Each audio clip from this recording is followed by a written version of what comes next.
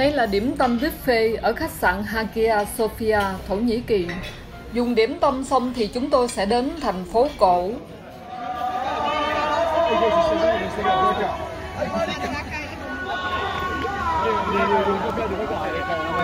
Trước khi đến thành phố cổ thì chúng tôi đi ngang qua Blue Mosque, Thánh đường xanh. Blue Mosque là nhà thờ Hồi giáo lớn nhất tại Thổ Nhĩ Kỳ và cũng là biểu tượng của thành phố Istanbul. Sở dĩ có cái tên Thánh Đường Xanh là bởi vì nhà thờ được lát bằng 20.000 viên gạch trắng men màu xanh dương. Mở cửa miễn phí cho khách du lịch vào tham quan, nhưng nhà thờ vẫn là một nơi thờ cúng tôn nghiêm. Ồ, oh. mình đang vô cái mosque Istanbul. Trước khi vào bên trong thánh đường, tất cả mọi người sẽ phải cởi giày, riêng phụ nữ sẽ phải đeo khăn trùm đầu. Baby.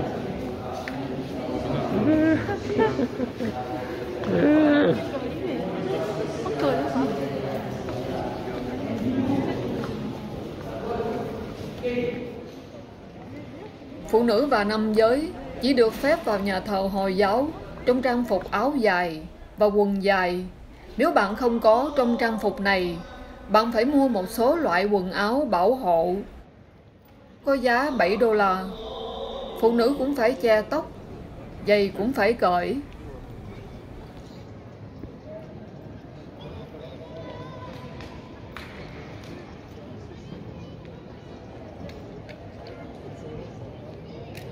chín mươi tám phần trăm dân số người Thổ Nhĩ Kỳ theo đạo Hồi và phân biệt giữa người Hồi giáo Sunni và người Hồi giáo Siste.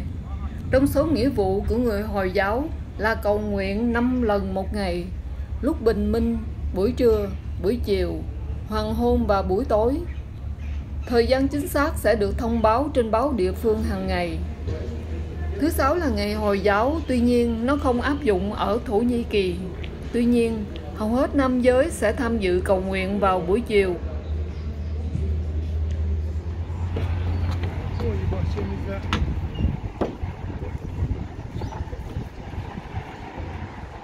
Trong thánh lễ Ramadan, tất cả những người Hồi giáo phải nhịn ăn. Từ lúc mặt trời mọc đến khi mặt trời lặn, họ sẽ không ăn, không uống, không được hút thuốc lá và cả vợ chồng cũng không được nắm tay nhau.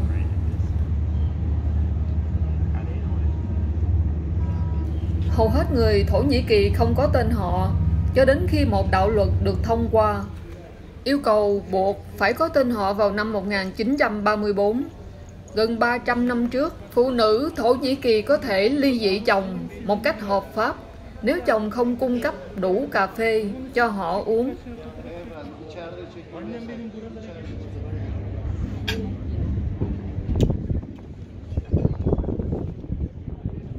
Chúng tôi đến một nhà hàng đẹp trên sân thượng với tầm nhìn ra nhà thờ Hồi giáo màu xanh Sultan Asme Mosque và nhà thờ Hồi giáo Hagia Sophia.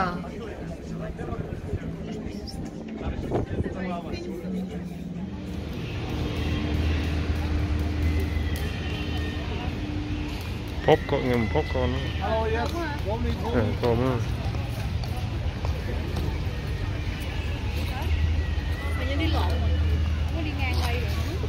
Chúng tôi ghé mua hạt dẻ ở đây rất ngon. Around Plaza, three station though. Oh, this way. Buyurun buyurun buyurun.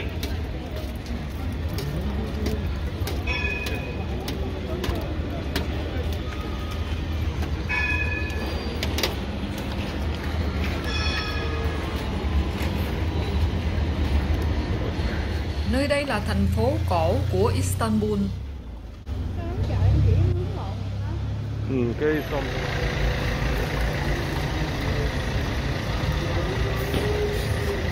Ở đây là Old City phải không? Thành phố xưa của Istanbul.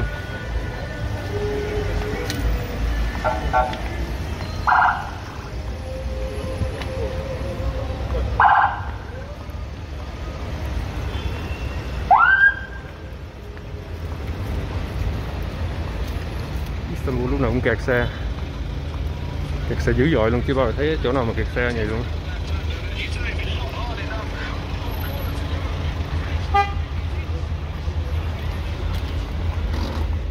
Nói đến văn hóa ẩm thực của Thổ Nhĩ Kỳ nói chung và Istanbul nói riêng, không thể không nhắc đến kebab, trà và shisha. Món kebab truyền thống bao gồm thịt bò hoặc thịt cừu nướng, ăn kèm cơm hoặc gói trong vỏ bánh mì, được cả thế giới biết đến như một món quốc hồn, quốc túy của xứ sở thảm bay.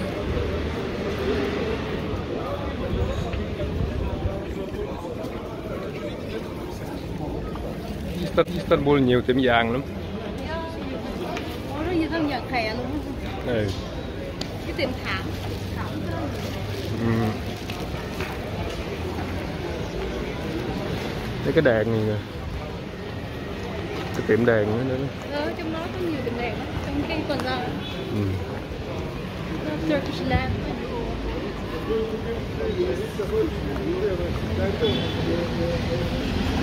Istanbul, thủ đô Thổ Nhĩ Kỳ, là một thành phố liên lục địa khi nằm giữa hai châu lục Âu và Á.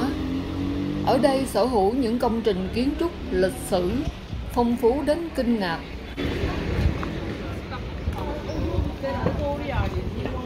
Al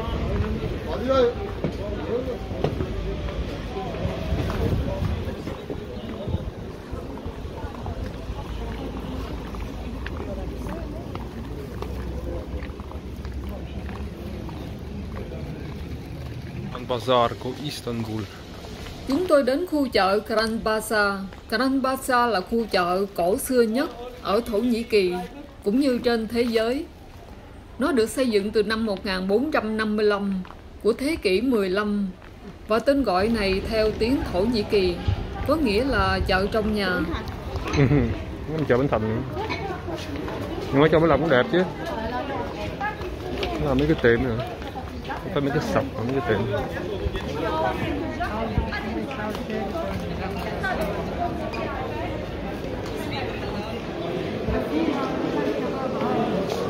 Thank you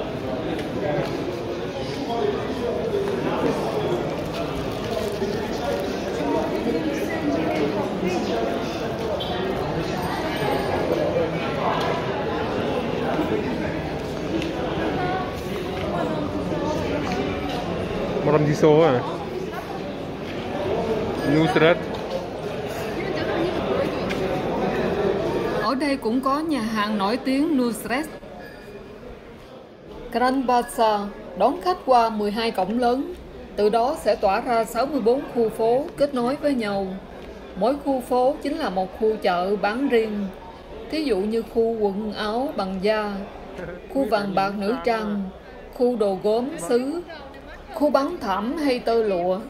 Ngày nay, Grand Bazaar dường như không còn bó gọn dưới những mái vòm mà đã lan rộng ra các khu phố lân cận, tạo thành một vùng buôn bán sầm uất.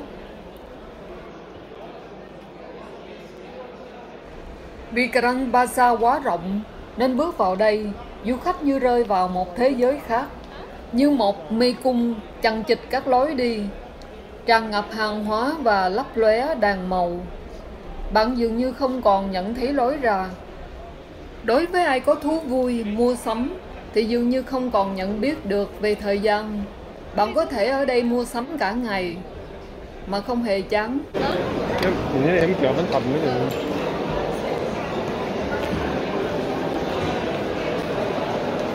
sang luôn ừ. rất tình tiện luôn á Ừ.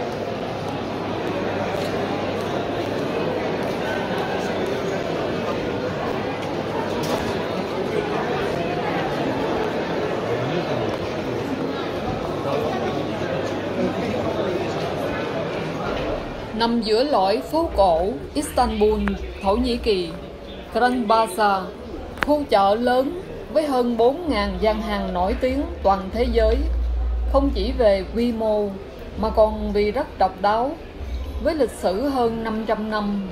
Đặc biệt, tuyệt đại đa số các gian hàng nơi đây đều do đàn ông làm chủ và trực tiếp bán hàng. Điểm đặc biệt của Grand Bazaar là trong chợ sẽ không tìm thấy người nữ bán hàng nào. Theo truyền thống của người thổ, chuyện bán hàng là của nam giới. Grand Bazaar được hình thành từ thế kỷ thứ 15 và phát triển liên tục cho đến nay. Nơi đây nổi tiếng đến mức vào 2014 đã ghi nhận kỷ lục điểm đến đông khách nhất thế giới khi đón tiếp hơn 91 triệu du khách đến tham quan, mua sắm.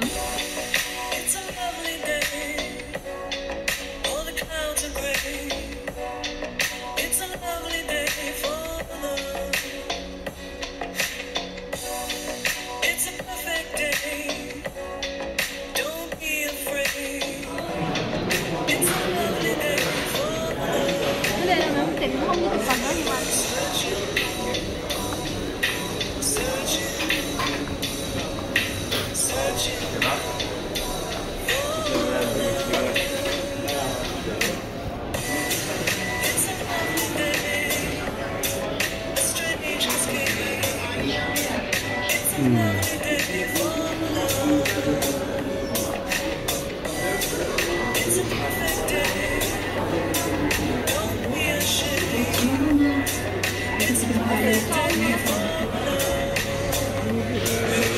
Erzurumlu Fatih var ya.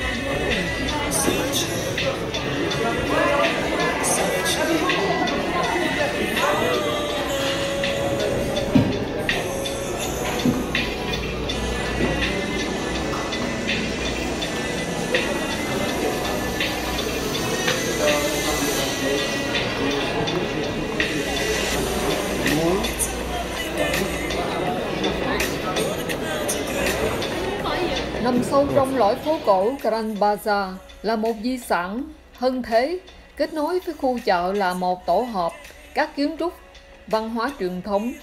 Quanh chợ có hai thánh đường Hồi giáo, hai nhà tắm, hammam, bốn suối nước uống và vô số quán ăn và tiệm cà phê giải khát tạo thành một vùng du lịch ấn tượng tiêu biểu cho lịch sử và văn hóa Thổ Nhĩ Kỳ.